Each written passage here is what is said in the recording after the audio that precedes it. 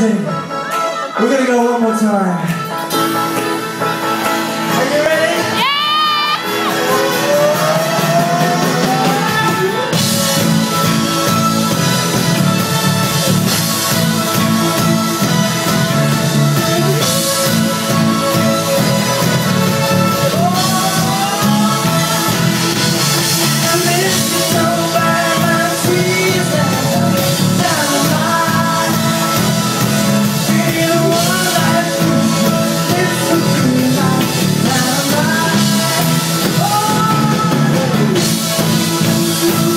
We'll be right